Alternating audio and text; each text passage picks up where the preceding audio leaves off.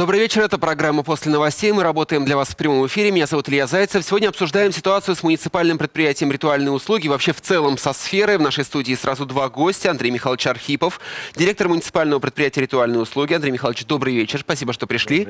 И Андрей Викторович Козиков, депутат Красноярского городского совета, председатель попечительского совета по вопросам похоронного дела. Спасибо большое, Добрый что пришли.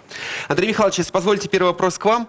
Мы сегодня уже говорили об этой некрасивой истории, связанной с исчезновением тела в морге, и руководство морга ссылается, что проблема возникла как раз из-за неисполнения федерального закона и незахоронением так называемых безродных тел.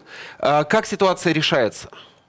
Ну, скажу так, на сегодняшний момент ситуация разрешена. Значит, почему она произошла, ну, это надо спросить руководство морга. Э, Почему я так заявляю? Потому что для того, чтобы нам производить какие-то действия по вывозу, нам нужна обы- обыкновенная информация в виде заявки, заявлений, чего угодно. Долго этот вопрос не могли решить. Э, Я должен иметь основания, как, и, как директор муниципального предприятия, направлять туда машину. Э, Буквально сегодня поступила от руководства морга нам заявка на все количества. И я думаю, что в течение 10 дней мы этот вопрос вообще закроем. И есть- впредь такого, не- я думаю, не повторится. То есть 10 дней ситуация... Да, абсолютно наладится. А, Андрей Викторович, а по вашему мнению, вот многие говорят, что такое определенный сигнал, потому что говорили, что и возможностей у муниципального предприятия нет. Вот вы, как председатель попечительского совета, который недавно создан, как вообще в целом оцениваете, если кратко, ситуацию в муниципальном предприятии? Но в целом предприятие находится в достаточно сложной ситуации. На сегодняшний день составлен план мероприятий по выводу ситуации из э, по, по выводу предприятия из данной ситуации. И я считаю, что делаются правильные шаги, есть определенные успехи, есть наработки. Я считаю, что новый руководитель вполне должен с этим справиться. Андрей Михайлович, ну давайте тогда поделитесь. Вот э, вас назначили 11 октября э, на эту должность ре- решением городского совета. Э, можете оценить, каким было финансовое состояние предприятия до вашего прихода и какое оно сейчас? И что, что стало лучше? А, Ну, давайте начнем с того, что на предприятие я пришел 9 августа в качестве заместителя руководителя по производственной части. 15 августа я стал исполнять обязанности. Ситуация была следующего. Значит, самое главное, что сразу определяет предприятие, это подготовка к зиме. Мероприятия все были сорваны абсолютно. Котельная была не готова, потому что у нас своя котельная. Э, Приобретаем уголь и топим свои здания. Значит, э, Кот- Котлы были не готовы, труба была упавшая. Вот это первая задача, с которой мы столкнулись. Благодаря департаменту городского хозяйства, в частности, Титенкову Игорю Петровичу, вот этот момент был решен очень оперативно. Мы нормально вошли в, э, в зиму. Следующий момент. Э, Те э, э, павильоны, ларьки, которые принадлежат муниципальному предприятию, они бездействовали. То есть они были просто-напросто закрыты, значит, они были открыты, поставлены продавщицы, был открыт цветочный цех, что была своя продукция, напитали э, эти места своей продукцией, стали продавать. Плюс к этому за буквально месяц мы смогли возобновить, восстановить работу э, каменотесного цеха, то есть стали принимать заказы на памятники. Э, вот, э, значит, э, проблема у нас возникла небольшая э, с определенными долгами, но мы разработали предложение по ликвидации данной задолженности. Ну, извините, что перебиваю. Насколько я понимаю ситуацию сейчас, а счета предприятия арестованы? Да. У вас сейчас вот по обновленной информации от службы судебных приставов 10,5 миллионов рублей задолженности перед фондом соцстраха, налоговой инспекцией, налоговой службой и э, пенсионным фондом. Есть такой момент, но он связан с чем? Не с нынешним состоянием предприятия, это немножко тема до. Вот если мы разделим сейчас предприятие и предприятие в прошлом. Вот это вот эхо э, той деятельности, которая была до нас.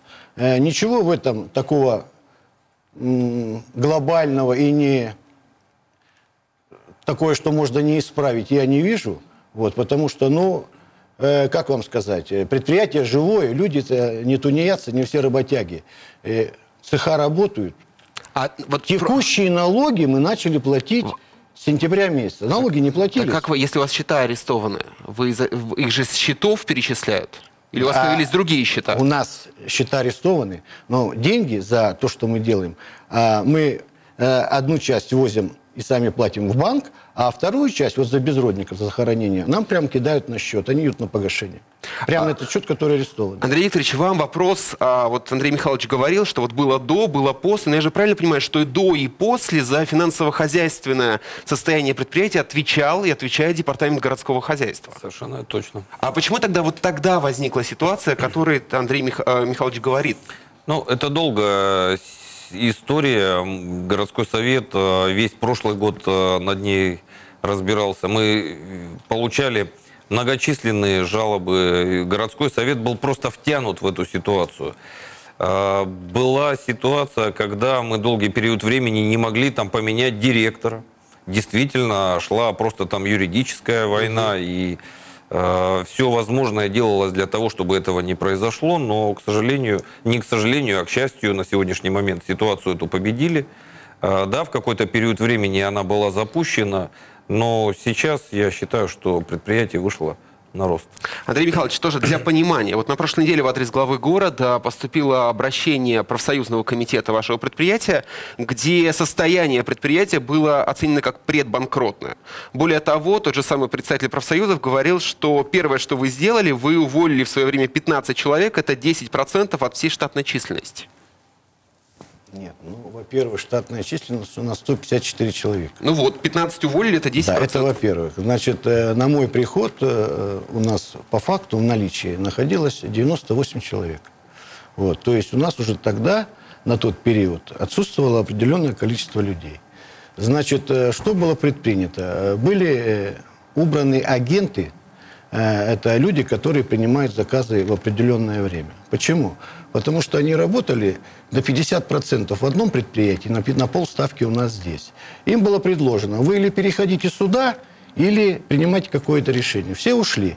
Э, Ну, они ушли, у нас агентов не стало. Дальше э, было предложено э, главному инженеру Ковалеву э, э, предложение по- им- ему было сделано в качестве того, что давай начинаем работать или что. Но с него был спрос, почему не подготовлено предприятие к зиме. Ничего вразумительного данный человек не мог сказать, потому что ссылался на то, что нету денег.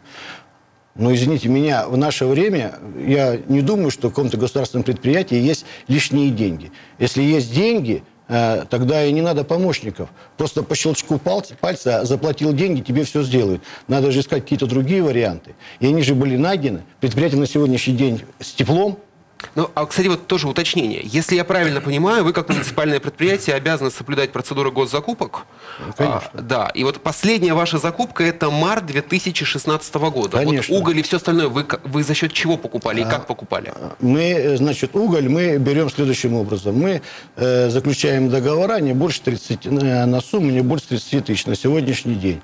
Потому что э, а рынок угольный, он говорит о том, что если мы э, будем брать где-то в других местах, или уголь будет некачественный, или цены будут выше. Нас уже проверяли по этому вопросу, э, что э, древесина у нас, что уголь у нас, а они ниже рыночной. То есть вы нашли способ обхода закона.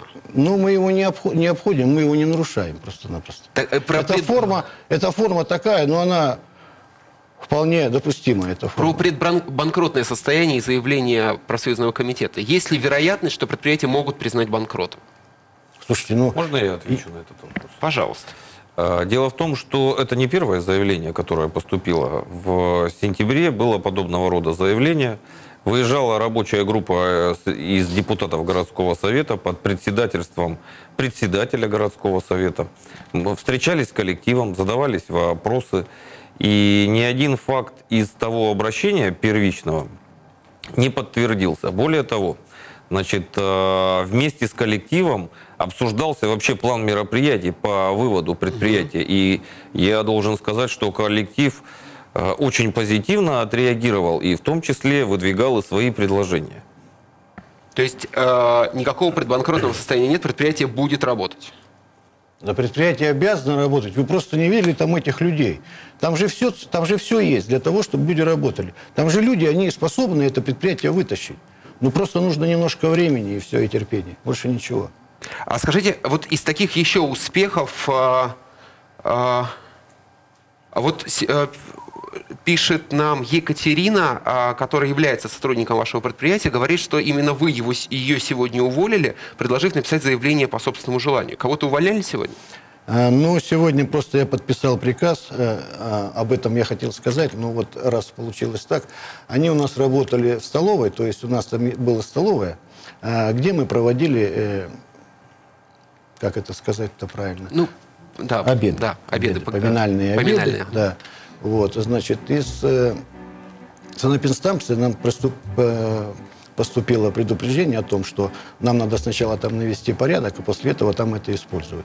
Вот, поэтому э, это все, понимаете, складывается в то, что непрофильное производство мы будем вынуждены как-то убирать. То есть столовая, она не является ритуальными услугами по большому смыслу слова.